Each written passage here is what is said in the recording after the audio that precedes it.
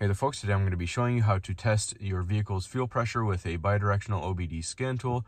We're using our Kingbolen K7 today. I'll put a link in the description where you can get one. A couple reasons why we're using the scan tool over a traditional fuel pressure tester. First one is safety and comfort. We can sit in the vehicle's driver's seat. We don't have to access the uh, service port of the fuel line and get any fuel on us or cause any damage to that. Second one the modern vehicles usually have a lot more pressure on the high pressure fuel pump than what a traditional fuel pressure tester can handle. So we can get both the high pressure and low pressure sides tested on this scan tool. So first thing we're going to do is start the vehicle and get it to operating temperature and then show you what's up.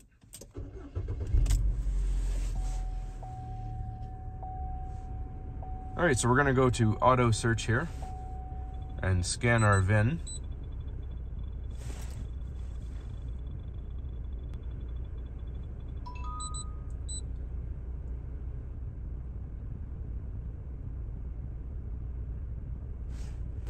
All right, so you're going to select your marketing region.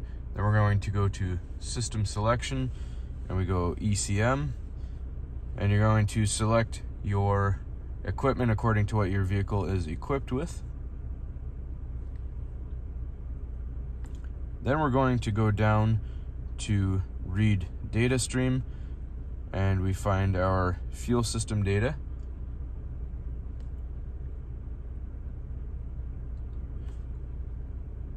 Now we're going to scroll down and go to desired fuel pressure and desired fuel rail pressure.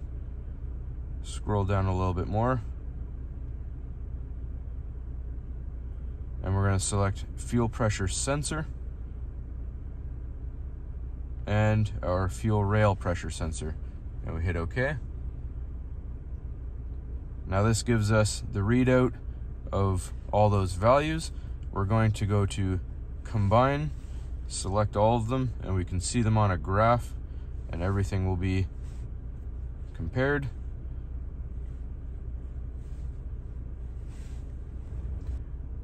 All right, and the good thing about the layout of the graph, you can actually see the values going across in a live stream, and also at the bottom here, it has a nice comparable feature you can do your desired fuel pressure and look directly below it at your actual fuel pressure. And over here in the yellow, you can see your desired fuel rail pressure. And just below it, you can compare your actual fuel rail pressure.